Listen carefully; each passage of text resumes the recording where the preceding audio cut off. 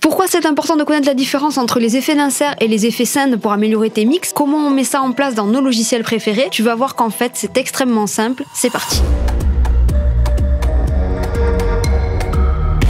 Aujourd'hui, je réponds à une question qui m'a été pas mal posée en coaching et en DM, et comme c'est une des bases à avoir, j'ai décidé de te faire une vidéo en trois étapes simples. On va d'abord voir quelle est la différence entre effet d'insert et effet send, les avantages à mettre un effet en send et quels effets place-t-on plutôt en send ou en insert et pourquoi. Je te montre ensuite comment faire pour le mettre en place dans ton logiciel. Et petit bonus en fin de vidéo, tu vas voir que certains plugins ont des paramètres qui peuvent te dispenser de te poser la question de send ou insert. Avant de commencer, j'ai enfin terminé le guide express du mix qui vient compléter la masterclass offerte que j'avais faite sur la chaîne. Tu trouveras tous les liens en description, que ce soit pour télécharger ou alors pour suivre la masterclass. Tout cela est offert, alors fais-toi plaisir. Michel, c'est pour moi Et bien sûr, on s'abonne, on met son pouce en l'air, même dans les commentaires, je veux voir tout le monde le pouce en l'air. Merci beaucoup, c'est parti, on y va.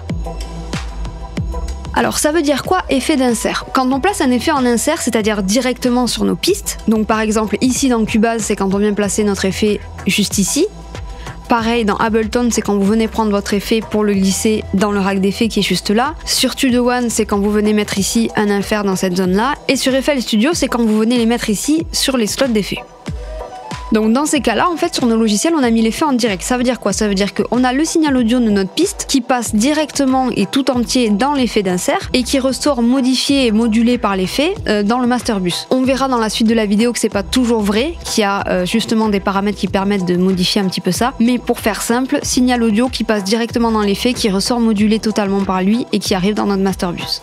Maintenant, comment ça se passe si jamais je mets mon effet en send ou en retour? C'est la même chose en fait. Donc quand je place mon effet en send, en fait j'ai toujours ma piste ici, mon signal audio qui passe direct via mon master bus. Donc là il va passer par les effets d'insert si j'en ai mis et puis il va atterrir directement sur le master bus. Et ensuite je vais créer un bus parallèle ici où je vais mettre un effet, par exemple une reverb, et je vais envoyer une partie de mon signal initial via euh, un fader d'envoi. Je vais envoyer plus ou moins de signal dans ce bus qui va être modulé par l'effet que j'aurais mis dessus et qui va ressortir donc réverbéré ou avec du délai selon l'effet que j'ai posé. Et en fait la résultante c'est que dans mon master j'ai mon signal direct plus mon signal euh, qui passe par mon effet send. Donc j'ai un mélange de mes deux signaux ici, ce qui n'était pas le cas dans mon effet d'insert où j'avais que mon signal qui était passé par tous mes effets. Pour résumer de manière très simple en fait, si je place mon effet en insert, tout mon signal passe dans l'effet et ressort modifié. Si je place mon effet en send, j'ai un mélange de mon signal direct plus le signal wet selon la quantité que j'aurais envoyé avec mon fader d'envoi. L'avantage des effets en send, c'est que d'une part, on va pouvoir faire un réglage d'effet sur un bus send et envoyer autant de pistes qu'on veut dedans, donc c'est un gain de temps et parfois même de CPU.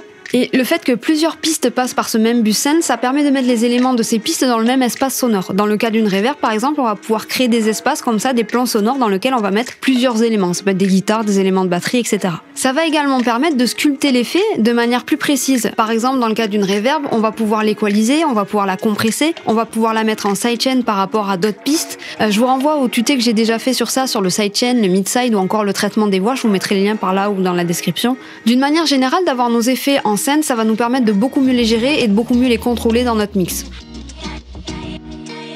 Les effets qu'on met généralement en insert, c'est soit tout ce qui concerne la tonalité ou la dynamique, donc ça va être l'EQ, le compresseur, la distorsion. Et de manière générale, on va mettre en scène les effets dont on ne veut pas qu'ils prennent le dessus sur le signal dry. Pour les utilisations les plus courantes, donc on a la reverb, le délai, la compression aussi quand on veut faire de la compression parallèle par exemple. Alors il y a plein d'exceptions et on verra ça juste après. Ça c'est en gros le postulat de base. Et après selon les plugins, tu vas pouvoir plus ou moins ajuster les effets et donc te permettre de les mettre en insert ou pas. Et puis encore une fois, les règles sont faites pour être brisées, donc vous tentez bien tout ce que vous voulez. La seule chose à savoir, c'est que de mettre ton effet en scène, si tu as du mal à le contrôler quand il est placé en insert, ça va te permettre de mieux le gérer.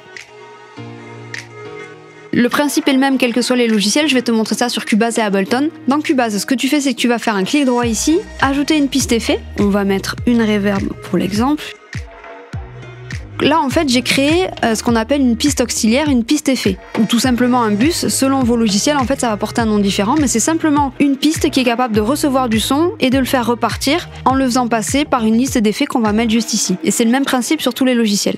Donc ici, j'ai une petite boucle de Bouzouki. Et ici dans Cubase, là où vous avez marqué Send, vous allez venir chercher votre bus d'effet, donc notre bus ici. On va l'activer et en fait ici je vais pouvoir envoyer plus ou moins du signal dans mon bus d'effet. Avant ça, ce à quoi il faut faire attention, c'est que les effets que vous avez mis sur votre euh, piste auxiliaire, il vous faut mettre le wet toujours à 100%. C'est-à-dire qu'on veut pas de son dry. Là, on veut pas euh, avoir euh, une partie du son qui n'est pas l'effet. On est vraiment à 100% wet, que ça soit reverb, saturation, etc. Hormis que ça crée un effet que vous désiriez. Mais la règle, c'est qu'on se met à 100% wet sur tous les effets qu'on met comme ça en send. J'active mon envoi d'effet. Et ici, je vais venir Ok, l'envoyer plus ou moins dans ma reverb. Là, l'avantage, c'est que ben voilà, ici maintenant, si je veux venir équaliser ma reverb, je peux mettre un Pro Q. Disons que je ne veux pas trop d'aigus. Je peux équaliser le son qui arrive dans ma reverb, donc je pourrais très bien mettre un Pro Q juste avant euh, ma reverb. Je peux en mettre un après. Je peux compresser. Et je peux dire à ma reverb, je vais activer le sidechain ici et je peux lui dire, je veux qu'elle soit de quai quand j'ai mon kick qui joue. Euh, je veux laisser passer une partie du, euh, du son lead de ma boucle, pas qu'elle soit complètement noyée dedans. Et là, je vais pouvoir venir régler avec le threshold.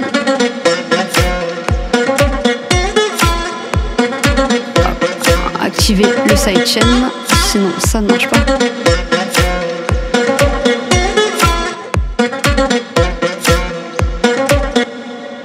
Ok, je peux faire du mid-side, etc. Encore une fois, je vous renvoie au tuto que j'ai déjà fait. Mais le principe de base, c'est ça. Sur Ableton, vous allez venir cliquer droit ici et faire insérer piste de retour. Vous voyez, elle est apparue ici. Et là, alors quand je me mets, j'appuie sur Tab, je reviens sur mon, ma table de mixage. Ici, j'ai les envois synth. Donc, je vais pouvoir, selon la piste que je veux, voilà, donc là, j'ai une piste retour, mon mix toujours à 100%. Et là, ben, je choisis la piste audio que je vais envoyer. Donc là, mon, ma piste retour, c'est la piste C. Et ici, avec mon send, j'envoie plus ou moins dans ma piste C. Ok? Et c'est le même principe, quel que soit le logiciel. Studio One fonctionne pareil. FL Studio, il me semble que c'est à peu près la même chose. Le, le principe, c'est ça, c'est je crée un bus sur lequel je mets mon effet, je mets mes effets à 100% wet, et ensuite je décide de quelle piste j'envoie dans ce bus-là. Aujourd'hui, sur la plupart des plugins que l'on possède tous, il y a un paramètre qui fait que tu n'es pas forcément obligé de passer par cet effet de piste retour. Ce paramètre, c'est le dry wet. C'est ce qu'on avait ici sur notre reverb. Donc, il me permet de choisir quel pourcentage de son dry, c'est-à-dire sans l'effet j'entends, et quel pourcentage de son réverbéré j'entends. À 100%, le son est complètement réverbéré. Et là, j'ai un mélange des deux. Donc en fait, quand je fais ça avec un dry wet, j'ai un peu le même principe que quand je venais ici activer mon send et venir envoyer plus ou moins de signal dans la reverb. C'est à peu près le même principe. C'est moins précis, mais ça permet quand on est en phase de composition d'aller un peu plus vite et de pas s'embêter à faire des pistes de retour, etc. La plupart des effets créatifs vont avoir euh, ce bouton euh, dry wet ou mix euh, pour la parallèle compression, donc en fait la parallèle compression c'est la même chose que ce qu'on a fait avec notre reverb, sauf qu'au lieu d'avoir une reverb, on va mettre un compresseur qu'on va faire en général beaucoup travailler, beaucoup plus que ce qu'on ferait si on le mettait en insert, et on va venir réinjecter un peu de ce signal très compressé à notre signal dry pour avoir quelque chose d'un petit peu plus euh, euh, fat. Vous avez ce plugin là qui est pas mal du tout, qui vous permet d'éviter d'avoir à faire tout ce cheminement de bus parallèle, etc. C'est un plugin de chez Baby Audio, il est pas très cher, je crois que c'est une trentaine d'euros, je vous mettrai les liens de toute façon dans la description. Et en fait, ce plugin-là, il fait ce process-là d'avoir de la compression parallèle et euh, vous avez ici un peu un, équivalent de dry wet qui vous permet de faire cette parallèle compression via un plugin en insert sans passer par un effet de retour. Je vous fais écouter. Donc là, on va être sur le kick et la snare. Petit à petit, je ramène du signal en parallèle compression.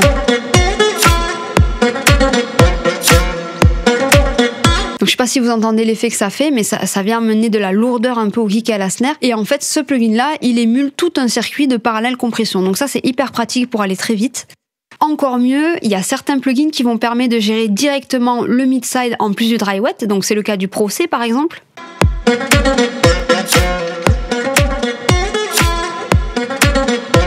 Ok, mon Pro C en fait ici, à cet endroit-là, je peux choisir si je compresse davantage les mids les.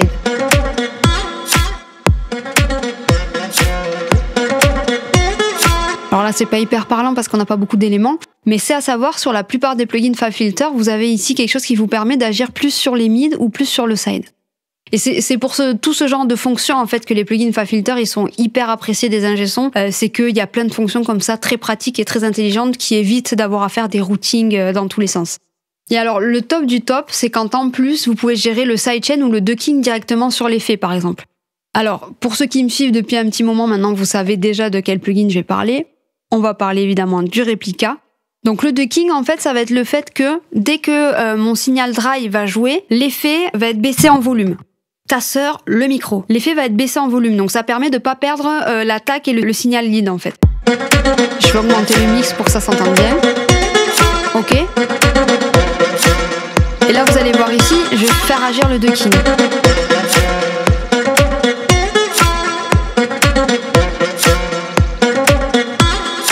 Et en fait, là, on a l'effet que quand euh, le signal lead s'arrête.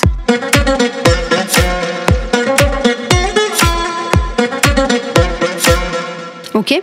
Donc on a cet effet-là euh, sur le réplica qui est du coup hyper pratique parce que euh, on peut faire beaucoup de choses, on peut venir aussi équaliser. Il y a plein de choses qu'on peut faire directement sur l'effet, donc ça évite d'avoir à faire une piste retour. C'est hyper pratique quand on compose. Et vous avez la H-verbe, donc je vous l'avais déjà montré. Pareil, on peut activer ici euh, le, mode duck qui va faire en sorte que euh, la reverb soit gaitée dès que le signal lead passe. Ok, là il n'y est pas, je vais augmenter un peu le wet.